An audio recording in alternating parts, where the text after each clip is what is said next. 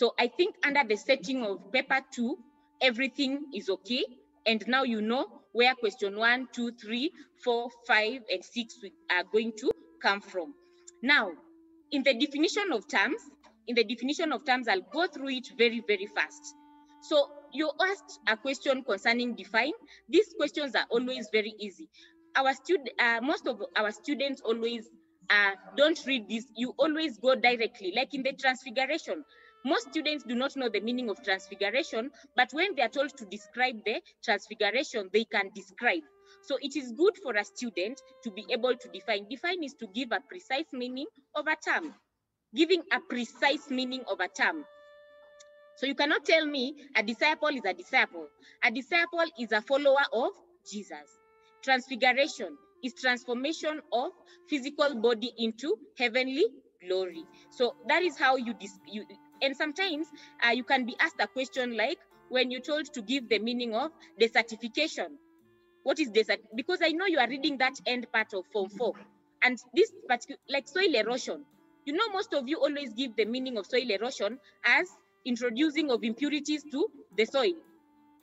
So it is good for you to go back and read the meaning of soil erosion, the meaning of air pollution, the meaning of, uh, of air pollution, uh, the meaning of desertification and deforestation. When we talk about desertification, you can be told to define the term desertification. That is encroachment of a desert or a desert-like place to arable land. So it is good for you to give a, a precise meaning of the term. So another one is uh, concerning name or list or give. Here, you are supposed to list names. Only a list of names is required mention the names only in a statement form. So you're supposed to be mentioning the names in a statement form. Prose. Prose. Like uh, uh, the question, list five titles that Prophet Isaiah used to refer to the future Messiah. So that is in 2019. That was the first question. Prince of Peace, Eternal Father, Everlasting. You know all these names. Eh? All these names, you know them. Wonderful Counselor, Emmanuel, Mighty God. So these ones, you know, when you're told to list, you can be told to list uh, anything that you, anything that you, if you're told to list any causes of poverty, you list them. Lack of jobs, misuse of family resources, and the rest. Number three, identify. It means singling out or to single out or to sort items from a group. So for example, you can be set for a question, identify seven ways in which Christians demonstrate their faith in God.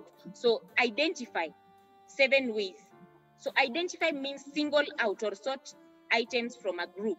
So they give offering, uh, Christians pray, they confess and repent their sins by building places of worship, they undergo baptism, visiting places of worship. These are you show faith. Even reading the Bible itself, composing songs, it's always a way of showing your faith to God. Question four, uh, uh, uh, that is a number, uh, number four here about definition of terms is concerning state. State means giving a statement that should make sense. Putting it, uh, the, putting the answer in words. State five reasons why Jesus used parable. I think this is a very easy question that most of you are aware of. So why Jesus used parables? To attract listen, uh, his listeners or audience, uh, to provoke his listeners, to see uh, to seek out serious listeners from keen listeners. So as you can see, as I'm giving my answers, I have used the slash, the stroke. The stroke is my, uh, uh, those are answers that I was giving. So in the exam, you're not required to use a slash or a stroke. So that is just to give you, Jesus used parables in order to attract listeners or the audience. So another meaning or another word that is used for listeners are the audience. So you only give one in the exam. When you're told to give, you can only say Jesus used parables in order to attract listeners. You just choose one. Don't use the stroke in the exam. Or you can use a conjunction or. Jesus wanted to provoke his listeners in order to isolate serious seekers from. It was a common method of teaching during that time. So five, uh, you can also to, be told to explain means giving a reason or reasons. Clarity is required here. Explain the Jewish expectations concerning the Messiah. So Jewish expectations concerning the Messiah here, most students are always are aware of this particular question. uh, the Jews expected the Messiah to come from the lineage of David. So uh, the Jews expected the Messiah to come from uh, a royal descent. A, royal descent. So a royal descent means somebody who is rich. I, they expected him to be a political leader, and because he was not political, that is why the Pharisees and the Sadducees opposed him. The Messiah would convert Jerusalem to be the center of rule. So those are the answers I gave. The Messiah was expected to make Judaism superior religion. Uh, the Jews expected the Messiah who would perform miracles. So we are still explaining the terms describe. It means characteristics, processes generally, giving the storyline. So as an examiner in paper two, remember we are talking about paper two. In paper two, when you talk about the term to describe, when you talk about the time to the term to narrate, when you talk about the term to relate, all these in paper two are the same because you are going to give me the events. You are going to give me the events that happened. You can be told to describe the incident in which Jesus had the Last Supper with the disciples. You can be told to describe the preparation of the Last Supper. You can be told to describe the parable of the Good Samaritan. Do you know the events? So when you're told to describe, and I'm, I'm, I'm repeating on this, most students are always confusing. They say that when you're set a question concerning relate, in 2017, this particular question relate was set, and the students were told to relate the events that happened during the uh, to relate the events that happened during the Last Supper. Yes, the Last Supper, it is here, the Last Supper itself. The, not the preparation to the Last Supper, the Last Supper, the order of events. So Jesus took his place on the table. He told them that he had desired to have a meal with them. Jesus then took bread, gave thanks. So you have to say Jesus took bread, he gave thanks, he broke it, then he said, no, when Jesus took bread, when Jesus took bread and gave thanks and broke it, there's something else that students always miss in the middle here. When Jesus said, He said, I will never, I will not take this bread again until it is fulfilled. Do it in remembrance of me. Read, read well Luke's gospel. When we go to for marking, we always go through the Bible. The marking scheme is, al- is always already set, but when we go back, because of the way we teach our students, we always go back and we make changes. As we are making changes, we always deduce the points from the Luke's gospel, the Bible. When Jesus took a cup, he took the cup, he gave thanks, and then there's something he said. He said, I will not take of this vine again until I will, I will not take of this, I will not take of this vine again until the kingdom of God comes then that is when he said, For you, this is a new covenant in my blood. So these are the points that we add because as we are teaching in class, we always tell our students to read the Bible. So there's a student who, who might have added that point, and in the marking scheme, it's not there. So it is good for us to describe the events. And I always insist that as you're describing the events, make sure you go back to your Bible. Go back to your Bible and give the events the way they occurred in the Bible. So I've insisted and said in paper two, describe narrate, giving the story, and relate as the same thing. You give me the events the way they happened in the Bible. Then uh, state that uh, these are just uh, differences and distinctions. In differences and distinction, we always have a problem here. And the problem that comes in differences and distinction is that when a student is given is given a question concerning state the differences between the work of John the Baptist and Jesus, for example, the work of you have to understand John the Baptist because when you read your Bible very well, John the, John the Baptist came from the wilderness, and a voice is heard there saying at calling people for repentance. John was preparing the way for Jesus. So it when you're answering your question, here i've not talked about I've, I've, not yet gone to the place where now you're supposed to be answering. The answering techniques jafika hapo so what i'm supposed to be saying I'm, I'm supposed to be doing is that you're supposed to know that differences and distinction when you're told to give the differences you're supposed to be using co conjunctions. I think they're called conjunctions giving a distinction. And when you're giving a distinction you're supposed to use whereas or while like in the differences between John the Baptist, the work of John the Baptist, and the work of Jesus. John baptized with water, but Jesus baptized with the Holy Spirit and fire. John preached in the wilderness while Jesus preached in the synagogue or even, and even in the temple. John called people to repentance while Jesus forgave. Jesus lived the life of a Nazarite while John while uh, uh, John lived the life of a Nazarite while Jesus mingled freely. We see Jesus mingled freely, it is true, because Jesus mingled freely with everyone. Remember the tax collectors, remember the re- reasons why Jesus was opposed.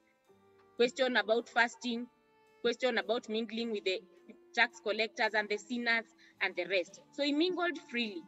Je- John uh, preached about the Messiah, while uh, Jesus preached about the kingdom of God, which was soon to come. So I have said that as you are giving the differences, please, as you're giving the differences, make sure you use whereas or while. That one is well understood. When you're giving the and do not draw tables as you're giving the differences. Most of our, of our students they give the correct answers, but they draw tables. You draw a table of two parts. You write differences. Then this other side you write John, and this other side you write Jesus. Of course, you are going to be giving the correct answers, but in the exam, when you do that as examiners, we don't give you a mark. We will give you zero, zero. You have scored nothing. I have given you a rule and I've told you consider using the conjunctions whereas or while while you're giving your you're giving your uh, differences and still don't draw a table draw uh, make sure you give the answer in a continuous prose form we call it statement don't you can the other students also we, who will now draw a table and they say that jesus preached in the wilderness why and you are still doing that in the table. Avoid tables. Make sure you give your answers well using conjunctions. When you're told to give similarities uh, something that is similar a synonym between traditional and uh, uh, uh, it's not a synonym like in english but similarities between traditional and christian uh, christian view of work. So in both work is mainly for the purpose of acquiring basic needs. So whatever we always mark here is that the students always know the answers but you have to repeat yourself. And don't use how are they called? They are post of uh, uh, that the the you always use some it's like a post you you want to show me that in the first point you wrote in both Uh, in both work is mainly for the purpose of acquiring basic needs. So you are tired of writing in both. So you try using those they are like apostrophes. You use them. So to show me that now you, you write work is ordained from god. Work is encouraged but you don't write in both. When you do that i will only give you a mark in, in point one. The rest of the points no no mark. So you have to make sure you, you repeat yourself in both. Work is mainly for the purpose of acquiring basic needs. In both, work is ordained by God. In both, work is encouraged after leisure. Outline means stating and explaining. That is another term that is used in the exam. Outline what angel Gabriel revealed about John the Baptist. So, whatever angel Gabriel revealed about John the Baptist, those ones you are supposed to outline. Outlining, you're supposed to give in a statement form. And if it reaches a point where you're supposed to give a point and then you explain, like when you're told to give the problems that are, like you, you can be told to outline problems available in families today. That is the particular uh, topic family. There are problems in families. If you're told to outline now there, it can also mean to state and explain depending on the question. In this particular question, outline what Angel Gabriel revealed about John the Baptist. Here, there is nothing to state and explain. It is giving in a statement form what Angel Gabriel said about John. He was going to be a Nazarite, not taking wine or drinking wine. John, he would be a. He was going to be a son, or some of you write a boy. We will give you. His name was to be John. So, if you're told to give to outline problems that are present in families today, and you say maybe a wastage of resources. When you give let's say a wastage of resources or, or, sickness or disease so you give you say sickness or disease put a full stop. Don't put a hyphen. When you're outlining and you've stated your point for example you've said a problem is disease that is available in family. Disease put a point that is a full stop then explain. If you put a hyphen that that particular uh, point won't be marked correctly. That is going against the rules and that is why i'm here to make sure uh, to make sure you know how to answer. Then discuss means giving reasons for and against where applicable. Discuss four causes of unemployment in Kenya today. So discuss is deducing. You make judgment. You give synthesis. You make judgment. These discuss questions are always mostly synthesis. So discuss four causes of unemployment in Kenya today. Uh, pre uh, preferences for prestigious white collar jobs. Family expectations also make the youth to prefer only white collar jobs. This is from forward. Corruption denies better qualified people opportunities for employment and an equal distribution of wealth and the rest. That is a discussed question. So when you're discussing, a, uh, when you're told to discuss four causes of unemployment in Kenya today, number one, you don't just give your answers because I think uh, from our syllabus coverage, we are able to give these points in the exam. Don't give the points that you know. We have discussed it with you in class and they are there in the employment. Here we is they are covering the topic work. And here that those are the points. When you're asked about discuss, make sure you are able to discuss it in the right way. Okay. Give six reasons why Jesus, uh, these are just extra questions. Give six reasons why Jesus used bread and wine during the Last Supper. That was 2017. Most students, uh, the reason as to why I wrote that question as an extra question is that most students did not know reasons why Jesus used bread and wine during the Last Supper. I think as teachers, when we teach, we only give the preparation of the, to the, of the Last Supper and the Last Supper itself and the significance or the reason or the lessons we learned from the Last Supper. But reasons why Jesus used bread and wine during the Last Supper, this one was set in 2017. It wasn't performed very well. It was a common meal. So why he used the, the, the bread is that it was a common meal uh, for, for uh, it was a common meal for Jews, for Jews, not for Jesus, for Jews. Jesus used bread because unleavened bread was used during the Jewish celebration of the Passover. So that is why he used bread. Jesus used wine because it was a common drink for the for the Jews. Jesus explained that uh, the bread represented his body, while uh, that was used for the forgiveness of sins. Jesus used wine to present his blood that was to be shed in the sealing of the covenant. Jesus used bread to demonstrate that he is bread of life. Jesus used wine as a sign of fellowship and unity. So that one, uh, I think from after my presentation, we will have uh, the work given to you. So explain how the unity of believers is expressed in the image of the bride. So this is where I wanted you to know that particular particular question in question four, where you can be asked about the unity of believers. Here you can be asked about uh, the people of God, the church, and the rest. So this one was 2019 last uh, last year, but one where the students were told to give the the bride, and this is how it was marked. So Christians are bride one. So if you say if a student just gave that Christians are the bride, you are not given a point. You have to say Christians are the bride while Jesus is the bridegroom. Christians are the church. So Christians generally are the church. So Christians are to be committed faith uh, or to be faithful to Christ as Christ was committed to the church. So you have to relate to these two incidences. The church is loved by Christ just as the bridegroom, bridegroom's bridegroom loves the wife. So the church must remain pure or holy through love, faith in Jesus. Bride keeps her purity for her husband. The committed Christ uh, Christian should be taken to a new home like Jesus, uh, John saw Jesus going to prepare the new Jerusalem for the Christians. So that is heaven. So it is good as you are giving this bride, you're supposed to give two parts. And I insisted and said, as you're giving this bride and the church, make sure you give two particular parts. If you only give one part, like in the church, this, a student says that a Christian, a, a wife should love the husband or a, Christ loved the church. That is not a point. You only you have to say that the husband, sorry, the husband should love the wife, just like Christ loved the church. So you have to give two parts of the point so that you are able to get a mark. Remember, I need five marks, five marks, five points. So five points given in statement form, continuous prose. Now, I think uh, I've covered all the uh, all the uh, uh, words that are used to set the exams.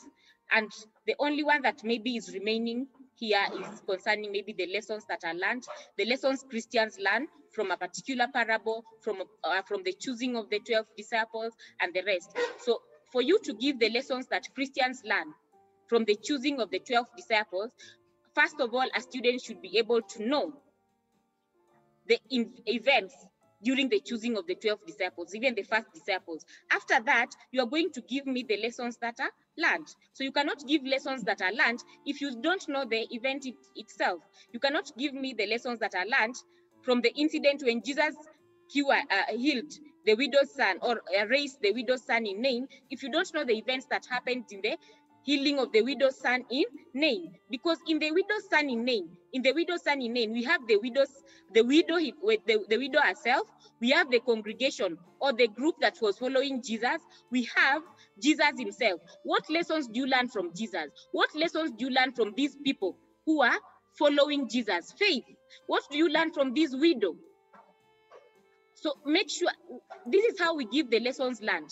In a particular event or in a particular story, you're supposed to have the, the people, like in the uh, when John the Baptist was baptizing Jesus in River Jordan, we find that we have John, we have other Christians who are also being, uh, other Christians who are also being baptized. We have Jesus. So there's a lot of lessons that you learn from Jesus there. There's a lot of lessons that we learn from John. There's a lot of lessons we learn from those people who came. And on that particular question that I've also given you, you should also know the reasons why Jesus was baptized and yet Jesus was sinless.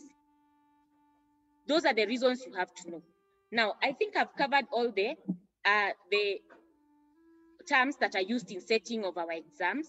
And before you choose your exam, as a student, you are supposed to know the term if they tell you to explain, you should know what they are telling you when they tell you, if they tell you to discuss, if they tell you to relate, describe, I think for now, you are well conversant with the terms.